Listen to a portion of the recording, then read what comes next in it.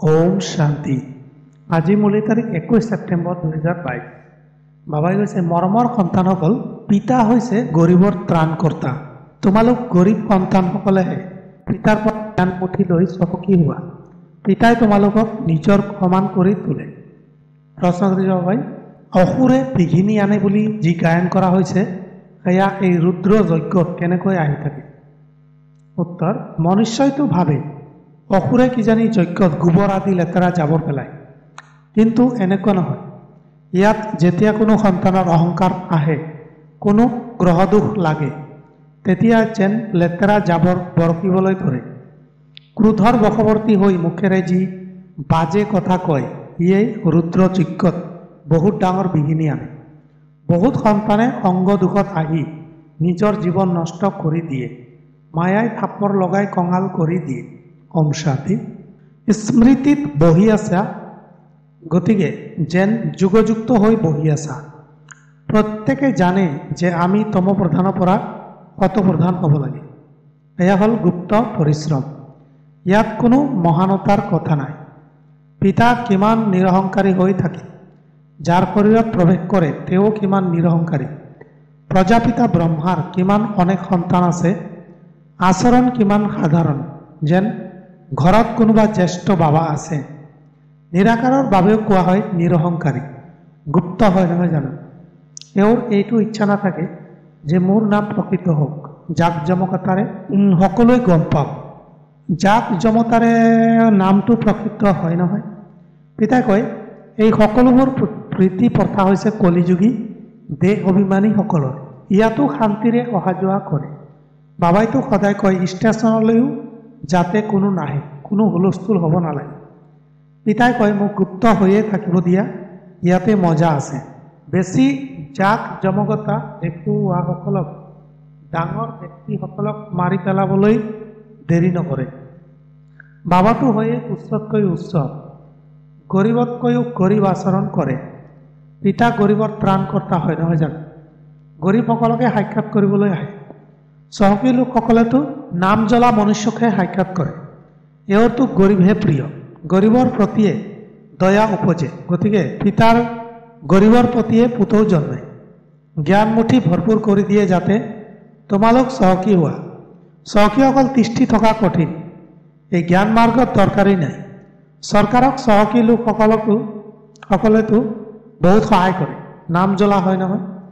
তাততো বহুত দান কৰোতাসকলৰ নাম বাতৰি কাকতত প্ৰকাশ কৰা হয়। ইয়াত গৰীবে দান কৰিলে বাতৰি কাকতত প্ৰকাশ কৰিব লাগে।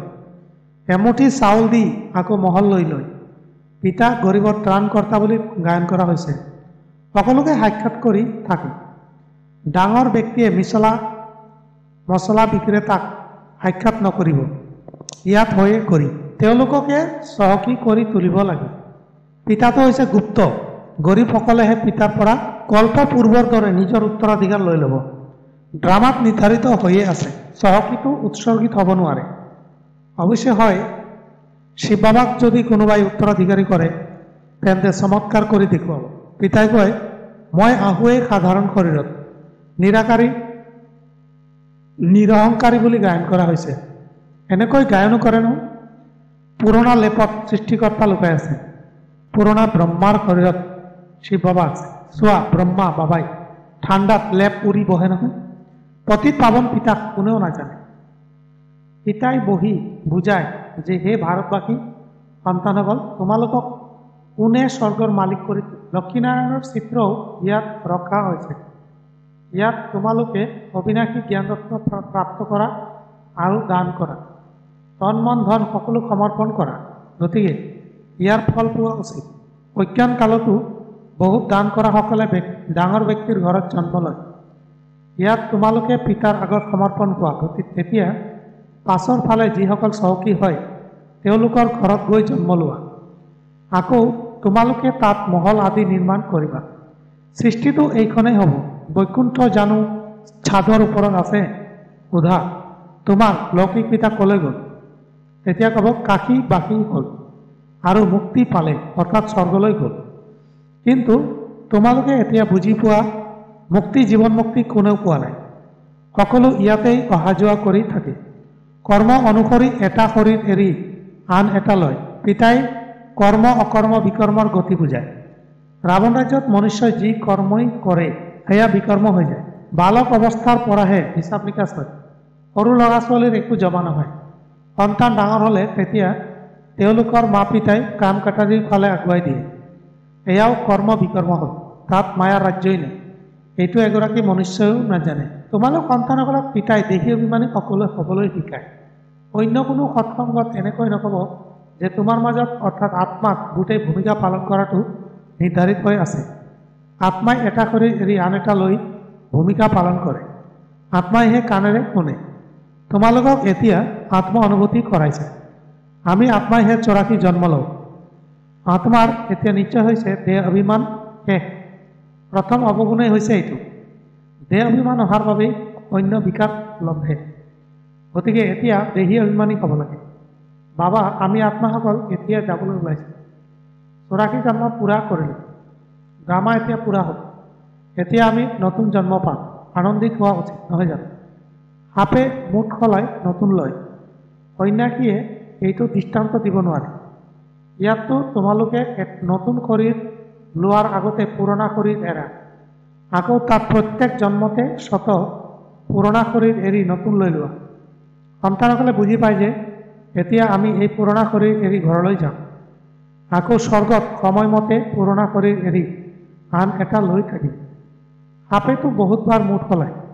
তোমালোককতো ইয়াত অভ্যাস কৰোৱা হয় এয়া চৌৰাশী জন্মৰ পচি যোৱা শৰীৰ ইয়াক শ্যাম বুলি কোৱা হয়। চামৰা মানে শৰীৰ কলা সেয়েহে আত্মাও কলা। সোণ চৌব্বিছ কেৰেট হ'লে অলংকাৰো তেনেকুৱা হয়। আগতে খাট মিহলি কৰাৰ নিয়ম নাছিল সঁচা সোণ চলিছিল। এয়া গিন্নি ইংলেণ্ডৰ সোণৰ মুদ্ৰা আদি বিদেশৰ পৰা ওলাইছে। বিদেশত বিশুদ্ধ মুদ্ৰা নবনায়। ইয়াতে সঁচা সোণৰ মুদ্ৰা আছে। এতিয়া সকলোবোৰ ব্যয়বহুল হৈ গৈছে। সোণত খাট মিহলি কৰিবই লাগে। তোমালোকৰ অন্তৰত বহুত গুপ্ত আনন্দ আছে যে আমিতো গৈ সোণৰ মহল সাজিম যেনেকৈ ইয়াত পাথৰৰ দেৱাল আছে তাত সোণৰ দেৱাল হ'ল। আমি পাৰাস বুদ্ধিৰ হ'লে তেতিয়া মহলো সোণত নিৰ্মাণ কৰোঁ। পুৰণা সকলো নাশ হৈ যাব। এই ড্ৰামাখনখনক বৰ যুক্তিৰে বুজিবলগীয়া হয়। নতুন সৃষ্টিত সকলোবোৰ নতুন হয়। এইবোৰ কিমান সহজ কথা বাৰু এয়াও যদি বুজি নোপোৱা তেন্তে পিতাক বহুত মৰমেৰে স্মৰণ কৰা। সেইবাবে এই সকলোবোৰ সূক্ষ্ম কথা পিতাই পলমকৈ বুজাইছে। আৰম্ভণিতে বহুত সহজে বোধগম্য হোৱা কথা শুনাইছে। এনেকৈ জানো ক'ব যে বাবাই এই সকলোবোৰ আগতে কিয় শুনোৱা নাছিল যে আত্মা ইমান সূক্ষ্ম। ড্ৰামা অনুসৰি যি অতিবাহিত হৈ গ'ল কল্পপূৰ্বৰ দৰে যেনেকৈ বুজাইছিলোঁ তেনেকৈয়ে বুজাই আছোঁ। মনুষ্য এই ড্ৰামাৰ বন্ধনত বান্ধ খাই আছে। কল্পৰ পাছতহে আকৌ এনেকৈ বুজাই আছে। আকৌ এনেকৈয়ে বুজাওঁ। বহুত সন্তানে সাধাৰণ ৰূপ দেখি বিভূতিত পৰে। ওলোটা কথা ক'বলৈ ধৰে। ভাল ভাল সন্তানকো মায়াই থাপৰ লগাই দিয়ে। ভাবে বাছ যি কিছু হয় নিৰাকাৰেই হয়। সেয়াও ঠিক নহয় জানো? নিৰাকাৰ নোহোৱাহেঁতেন মই তোমালোক কেনেকৈ হ'লোহেঁতেন? কিন্তু নিৰাকাৰক ৰথ নিশ্চয় লাগে নহয়। ৰথ অবিহনে কি কৰিব? শিৱবাই কি কৰিব? ৰথত আহিব তেতিয়াহে তোমালোকে তেওঁক সাক্ষাৎ কৰিবা। তোমাৰ পৰাই শুনো, তোমাৰ সৈতে বহো। গতিকে ৰথ নিশ্চয় লাগে নহয়? বাৰু, আকাৰ অবিহনে নিৰাকাৰক স্মৰণ কৰি দেখুৱাচোন। তোমালোকে জ্ঞান প্ৰেৰণাৰো পাবা জানো? প্ৰেৰণাৰে পাবা জানো? তেনেহ'লে মোৰ ওচৰলৈ আহি চাইবা কিয় এই বাবাইও কয় যে উত্তৰাধিকাৰটো শিৱ বাবাৰ পৰা ল'ব লাগে। শিৱ বাবাই কয়, মই এই সাধাৰণ শৰীৰত ঘূৰি পঢ়াম। পঢ়াম পঢ়িবতো নিশ্চয় লাগে নহয়। বহুত ভাল ভাল সন্তান অহংকাৰী হৈ যায়। দুই চাৰিটা সেৱা কেন্দ্ৰ খোলে বাছ অহংকাৰ আহে তেতিয়া ওলোটা কথা কৈ থাকে। আকৌ কেতিয়াও বুদ্ধিত উদয় হৈ যায় যে এয়া মই ঠিক কথা নকৰোঁ তেতিয়া অনুতাপ কৰে। বাবাই কয় মই শাখাৰ অবিহনে কেনেকৈ বুজাম? এই ক্ষেত্ৰত প্ৰেৰণাৰটো কথাই নাই। মই শিক্ষকৰ ৰূপত বহোঁ। গৰীবসকলৰ কাৰণে মগজ খটুৱাই গৰীবকে দান কৰিব লাগে। কিবা কথা বুজি নাপালে তেতিয়া কোৱা বাৰু বাবাক সুধি কওঁ। কিয়নো জ্ঞান এতিয়াও বহুত বাকী আছে। আগলৈ গৈ বুজি গৈ থাকে দিনে প্ৰতিদিনে তোমালোকে নতুন নতুন সাৰ কথা শুনি থাকিবা। তোমালোক সন্তানসকলটো একেবাৰে নিৰহংকাৰী হৈ থাকিব লাগে। অহংকাৰ আহিলেই আকৌ গোটেই আৱৰ্জনা বাহিৰলৈ ওলাই আহে। আৱৰ্জনাৰ যেন বৰষুণ হয়। এনেকৈ কৈ ৰুদ্ৰ যজ্ঞত অসুৰৰ আৱৰ্জনা পৰিল। তেওঁলোকে চাগৈ ভাবে গোবৰ আদি পেলায় সঁচাকৈয়ে এয়া গোবৰ। বাজে কথা ক'বলৈ ধৰে ক্ৰোধ আদি কৰে এয়া যেন গোবৰ পেলায় আগবাঢ়ি গৈ থাকোঁতে কাৰোবাৰ গ্ৰহদোষ লাগিলে তেতিয়া সতীয়া হৈ যায়। মায়াই থাপৰ লগাই একেবাৰে কঙাল কৰি দিয়ে। উপাৰ্জনত গ্ৰহদোষ লাগে নহয়। সেইবাবেতো কয় আশ্চৰ্যজনকভাৱে কোনে সংগ দুখত আহি নিজৰ জীৱন নষ্ট কৰি পেলায়। পিতাই কয়, বহুত সাৱধান হওক, সাৱধানে থাকিব লাগে। সৎসংগই উদ্ধাৰ কৰে, কুসংগই ডুবায়। বাবাই একেবাৰে মানা কৰি দিয়ে। ডাঙৰ ব্যক্তিৰ বহুত শত্ৰু হৈ যায়। ইয়াত আকৌ বিষৰূপী ভোজন নাপালে কামেশো ক্ৰোধেশো হৈ যায়। বাছ, মই তেওঁক তেওঁক মাৰিম। পিতাইটো কয়, কাম বিকাৰতো তোমালোকৰ শত্ৰু হয়। তোমালোক পাৱন দেৱী দেৱতা আছিলা। এতিয়া কোৱা যে আমি পতিত দুখী। বাবাই কয় এই জ্ঞান যজ্ঞত অসুৰৰ বহুত বিঘিনি আহিব। আৰম্ভণিৰ পৰাই বিঘিনি আহি আছে। মুখ্য হয়ে পবিত্ৰতাৰ কথা। তোমালোকে আহ্বান কৰা যে হে পতিত পাৱন আহক। সেয়েহে এতিয়া আহ- আহিছে। পাৱন কৰি তোলে। আকৌ কয় পতিত হ'বলৈ বিচৰা। বিকাৰৰ কাৰণেই আৰম্ভণিৰ পৰা কাজিয়া চলি আহিছে। কন্যাসকলেও কয় যিয়ে নহওক আমিতো পিতাৰ পৰা উত্তৰাধিকাৰ নিশ্চয় ল'ব লাগে। লৌকিক পিতাই কি কৰিব? মাৰিব নহয়। যুদ্ধত কিমান মৰে? তোমালোকক পিতাৰাই মাৰিতো নেপেলায়? অৱশ্যে হয় সহ্য নিশ্চয় কৰিবলগীয়া হয়। এই ক্ষেত্ৰত মহাবীৰ হোৱা উচিত। শিৱ শক্তি বুলি তোমালোকৰ গায়ন আছে। যদি আমি আদিদেৱক মহাবীৰ বুলি কোৱা হয় কিন্তু অৰ্থ জানো বুজি পায়। তোমালোকে এতিয়া বুজি পোৱা যে মায়াৰ ওপৰত বিজয়ী হওক আৰু আনক মায়াজিত কৰি তোলো। দিলৱাৰা মন্দিৰত জগত আম্বাও বহি আছে। কোঠালীবোৰত সন্তানসকলেও বহি আছে। মহাবীৰ সন্তান ব্ৰাহ্মণ ব্ৰাহ্মণীসকলেই হ'ল। তেওঁলোকৰ বুদ্ধিত কিমান ৰহস্য আছে। হুবহু তোমালোকৰে স্মাৰক আছে। লক্ষ্মীনাৰায়ণৰ মন্দিৰো স্মাৰক হয়। গান্ধীৰ তিথি পালন কৰে। এইটো এইটো কৰিলে। ৰবীন্দ্ৰনাথ ঠাকুৰ এনেকুৱা আছিল ভাল কাম কৰিছিল। কিমান ডাঙৰ ডাঙৰ জীৱন কাহিনী লিখা আছে। কিমান কিতাপ আছে। ইয়াত তোমালোকৰ বুদ্ধিয়েই বহুত ডাঙৰ কিতাপ। গোটেই সৃষ্টিৰ আদিমধ্য অন্ত ৰহস্য। তোমালোকৰ বুদ্ধিত আছে। বুদ্ধিতেই জ্ঞান ধাৰণ কাৰোবাৰ বুদ্ধি বিশাল, কাৰোবাৰ কম। ক্ৰমানুসৰি হয় নহয় জানো? এয়া হৈছে নতুন জ্ঞান, যি পিতাৰ বাহিৰে অন্য কোনেও শুনাব নোৱাৰে। এইজন পিতাৰ প্ৰতি উৎসৰ্গিত হ'লে তোমালোকক স্বৰ্গৰ মালিক কৰি দিয়ে। বেহদৰ পিতা পতিত সৃষ্টি পতিত শৰীৰত আহি সন্তানসকলৰ বাবে কিমান পৰিশ্ৰম কৰে। তেন্তে নিশ্চয় সন্তানসকল উৎসৰ্গিত হ'বলগীয়া হয়। তেওঁ শিৱ বাবা হৈ নিৰাকাৰ দাতা, নহয় জানো? কয় শিৱ বাবা মই আপোনালৈ ঘৰ নিৰ্মাণ কৰিবৰ বাবে পইচা পঠিয়াই দিম। মইতো নিৰাকাৰ তেন্তে নিশ্চয় ব্ৰহ্মাৰ দ্বাৰাই নিৰ্মাণ কৰাম। তোমালোকৰ বাবে নিৰ্মাণ কৰিবলৈ নিৰ্দেশ দিওঁ। মইতো আহিছোঁ অলপ সময়ৰ বাবে। আকৌ নিৰ্বাণ ধামলৈ গুচি যাম। কিমান মৰমেৰে বহি বুজায় কিমান সহজ কথা। দেহ সহিত দেহৰ সকলো সম্বন্ধ ত্যাগ কৰি একমাত্ৰ পিতাক স্মৰণ কৰা। লাগিলে স্বৰাজ্য লোৱা আৰু প্ৰজাৰ প্ৰজাৰ পদ পোৱা লোৱা। সেয়া তোমালোকৰ পুৰুষাৰ্থৰ ওপৰত। প্ৰতিগৰাকী ৰজা ৰাণীৰ ওচৰলৈ লাখৰ হিচাপত প্ৰজা আহে। এই জ্ঞানটো অনেকে শুনিব। নিজৰ সমান কৰি গঢ়ি তোলা পৰিশ্ৰম কৰিব লাগে। পাৱন ইয়াতে হ'ব লাগে। তোমালোকে জানা পতিত পাৱন পিতাৰ আগমন হৈছে কল্প পূৰ্বৰ দৰে আমাক বুজাই আছে বাবাই ৰাজ্য দিয়াইছিল ৰাৱণে কাঢ়ি লৈছে। পৰাজয় কেনেকৈ হ'ল আকৌ ৰাজ্যই কেনেকৈ হ'ব লাগে? এয়াও বুদ্ধিত আছে। বহুত সন্তানে এইটো পাহৰি যায়।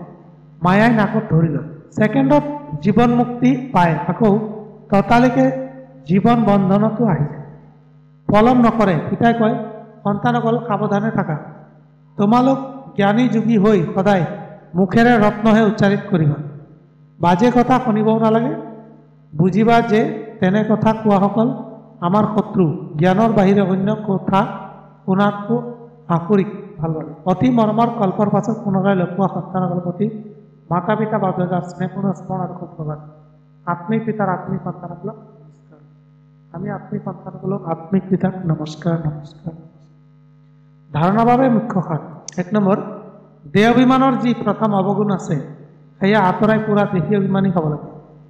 দুই নম্বৰ পিতাৰ পৰা যি অবিনাশী জ্ঞানত ধন পাই আছা, সেয়া দান কৰিব লাগে। পিতাৰ সমান নিৰহংকাৰী হ'ব লাগে। মুখেৰে ৰত্ন উচ্চাৰিত কৰিব লাগে। আকৰিক কথা শুনিব নালাগে। বৰদান দয়াৰ ভাৱনা জাগ্ৰত কৰি দুখ কষ্টৰ জগতক পৰিৱৰ্তন কৰোঁতা মাষ্টৰ দয়াময় ভৱ দয়াৰ ভাৱনা জাগ্ৰত কৰি দুখ কষ্টৰ জাগ- জগতক পৰিৱৰ্তন কৰোঁতা মাষ্টৰ দয়াময় ভৱ প্ৰকৃতিৰ অস্থিৰতাত যেতিয়া আত্মাসকলে চিঞৰে, দয়া আৰু কৃপা বিচাৰে, তেতিয়া নিজৰ দয়াময় স্বৰূপ জাগ্ৰত কৰি তেওঁলোকৰ কাতৰ শুনা, দুখ কষ্টৰ জগতক পৰিৱৰ্তন কৰিবৰ বাবে নিজক সম্পন্ন কৰি তোলা। পৰিৱৰ্তনৰ শুভ ভাৱনা তীব্ৰ কৰা। তোমালোক সম্পন্ন হ'লে এই দুখৰ জগত সম্পন্ন সমাপ্ত হৈ যাব। সেইবাবে নিজৰ প্ৰতি সকলো আত্মাৰ প্ৰতি দয়াৰ ভাৱনা জাগ্ৰত কৰা। য'ত দয়া থাকিব, তত তোমাৰ মোৰ অস্থিৰতা শ্লোগান জ্ঞান আৰু যুগৰ দুয়োখন ডেউকা শক্তিশালী হ'লে তেতিয়া উৰন্ত কলাৰ অনুভৱ কৰিব পাৰিবা। জ্ঞান আৰু যুগৰ দুয়োখন ডেউকা শক্তিশালী হ'লে তেতিয়া উৰন্ত কলাৰ অনুভৱ কৰিব পাৰিবা।